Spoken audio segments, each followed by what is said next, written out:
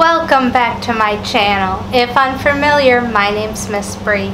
Make sure to subscribe by clicking the red button under the screen and let's see what adventure we're going on today.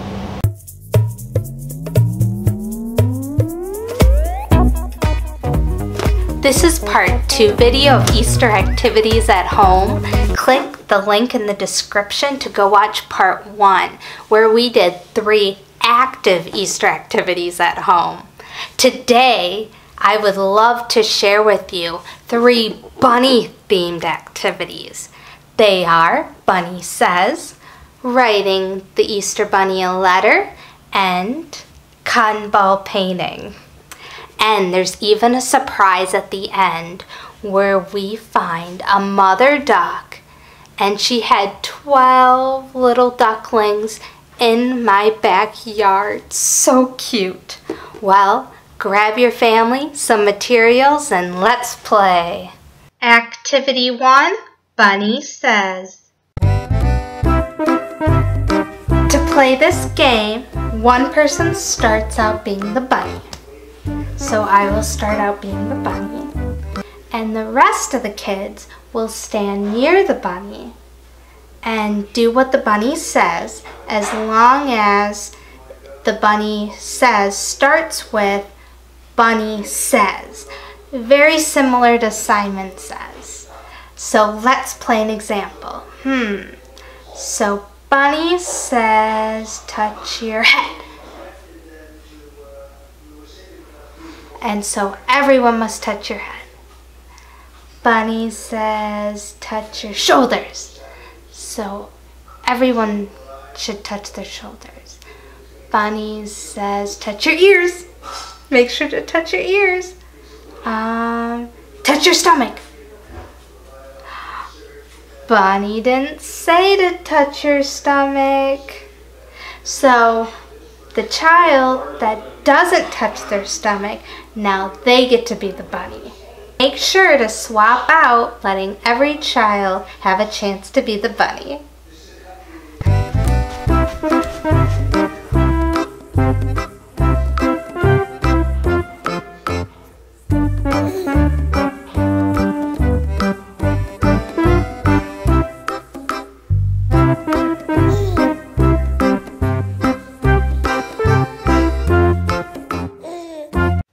Activity 2 Easter Bunny Letter.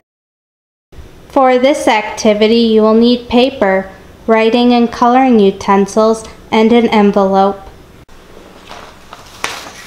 You sit down with your children and help them write a letter to the Easter Bunny. How fun is that? Including what their favorite candy is, what they're thankful for, what chores are they going to help around the house with, and what they want the Easter Bunny to bring them. And the adult can write the letter and the child can trace it. And then below, they can draw a picture of them and the Easter Bunny. And then afterwards, you fold it up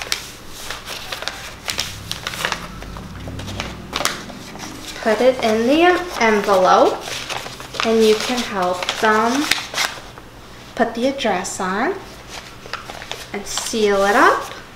Put a like a sticker stamp on it and put it in the mailbox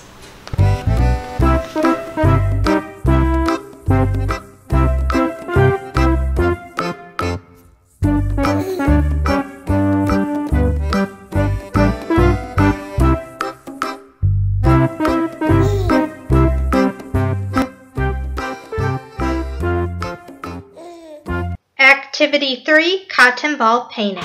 For this activity, you will need a bunny outline, either drawn or printed out on paper, cotton rounds or cotton balls, and washable paint. Clouds are shine. Why not do an Easter activity outside? So I am going to do the bunny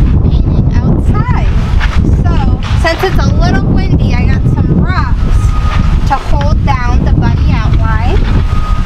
And then I've got a paper plate that I'm going to use as a paint palette. And I'm going to use some blue. I'm going to use some pink. All bright, fun Easter colors. And if you hear that, they're, they're just doing some construction work in the background. Got to get some green. And I'm to get some yellow.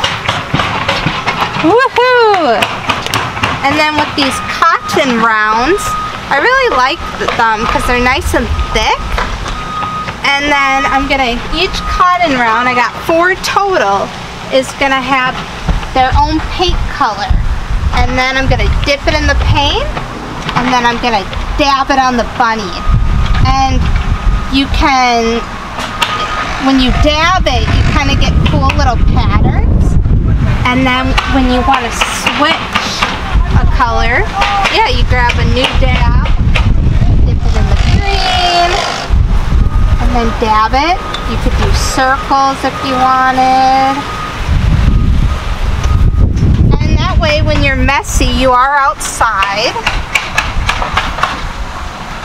So you don't have to worry as much on your kitchen table gonna get the blue. Gonna do his ears.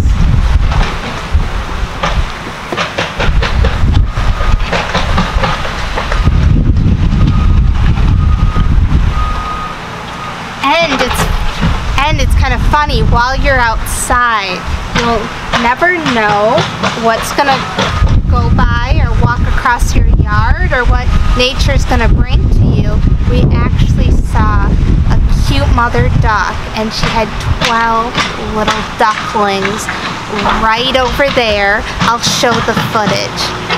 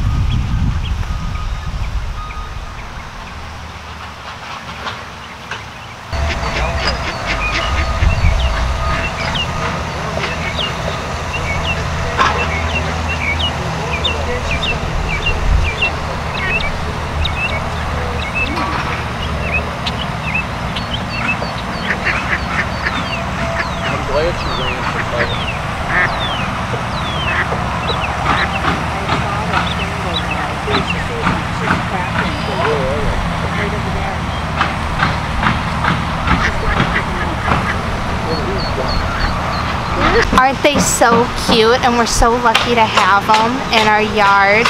And we put down some bird seed and they'll come in our yard in the morning and peck, peck at the seed. And the mother walks with them and they swim in the pond. So cute. What a great um, gift of nature for spring. Well, I hope you enjoyed this Easter painting activity. It's a very colorful and fun activity and it's a very affordable. Thank you so much for watching these three bunny themed activities.